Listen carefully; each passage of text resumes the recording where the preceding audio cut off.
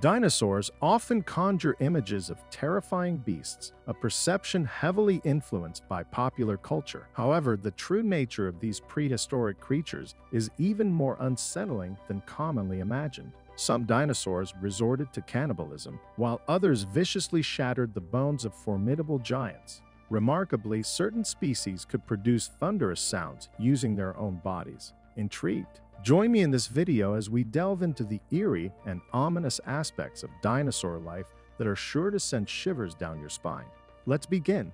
Triceratops Tyrannosaurus was an incredibly efficient predator, but there are other animals in the animal kingdom that don't necessarily have to be predators to pose a threat. For example, herbivores such as hippos and rhinos can be just as dangerous as carnivores like lions or wolves. This was also true in the world of dinosaurs.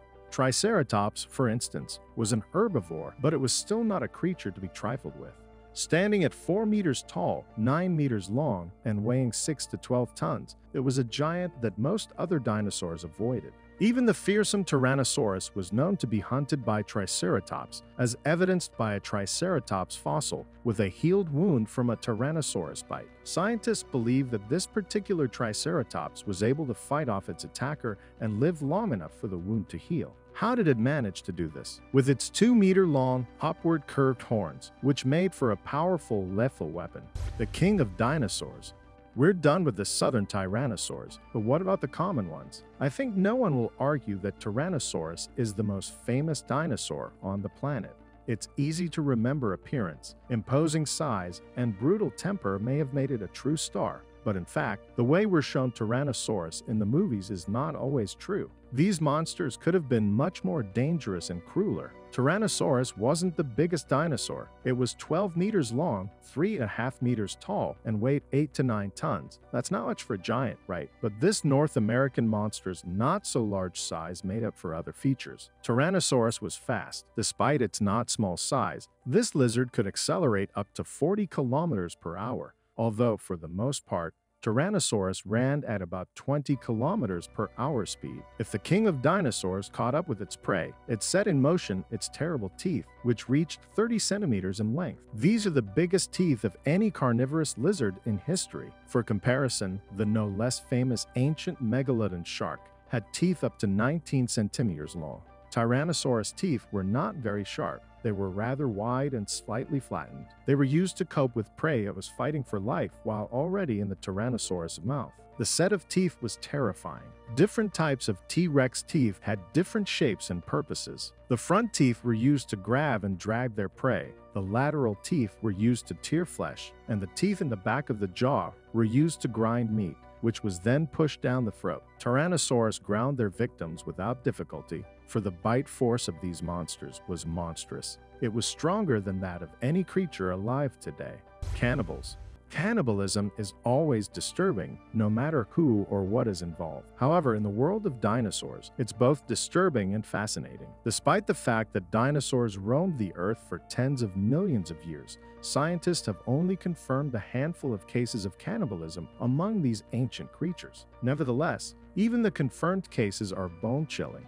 One confirmed instance of cannibalism involved the Majungasaurus genus. These reptiles lived in Madagascar around 70 million years ago and were considered the tyrannosaurs of the southern hemisphere. Standing up to 2 meters tall, 6 meters long, and weighing between 1 and 1.5 tons, they were the apex predators in their territory. However, there wasn't enough food to go around, and the Majungasaurus were forced to consume their own kind. When scientists discovered the bones of a Majungasaurus with large, jagged teeth marks, they concluded that the marks were made by another Majungasaurus because there was no other predator big enough to leave such marks in the area. Incredible power. Who else could Tyrannosaurus get their hands on? What about Ankylosaurus? You could say that they're some of the most violent and frightening ancient lizards. As herbivores, these armed dinosaurs often fell prey to large predators, including Tyrannosaurus, but over time, they managed to develop some defensive features. One of them was the bony armor plates that covered their bodies. In fact, Ankylosaurus were the most armored dinosaurs that were difficult to penetrate, but in case they themselves could punch hard because their second quality, or rather a feature, was a fierce tail with a stick at the end. The tail of the Ankylosaurus consisted of tightly adjoining vertebrae, and it had a tail mace at the end. These monsters could hit with up to 720 megapascals of impact stress. That was enough to shatter the bones of a Tyrannosaurus. Discovery. In fact, dinosaurs were not discovered until the middle of the 19th century. The term dinosaur was coined by Richard Owen in 1842.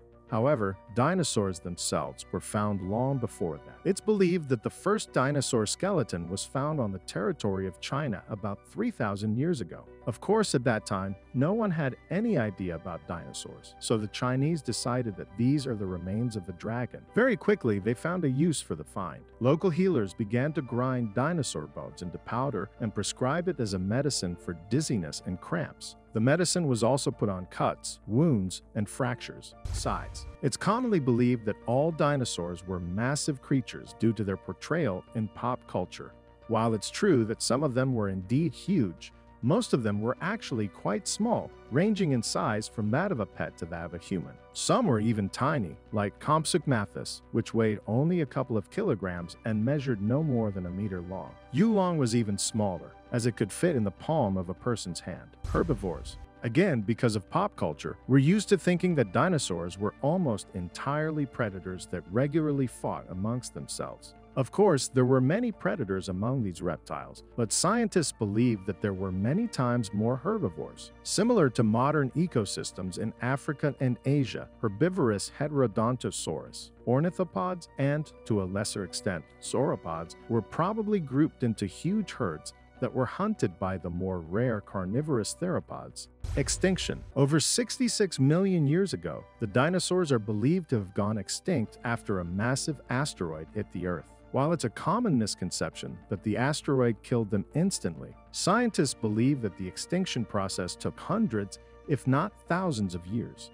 During this time, global climate change, lack of sunlight, and vegetation significantly altered the food chain, leading to the extinction of the dinosaurs. There is a possibility that some isolated populations of dinosaurs located in remote regions of the world may have survived a little longer than their counterparts. Some theories even suggest that a few dinosaurs may have survived to this day, living in places where humans have never been. What do you think? Would you like scientists to bring back the dinosaurs? Let me know in the comments. Thank you for watching, and see you later.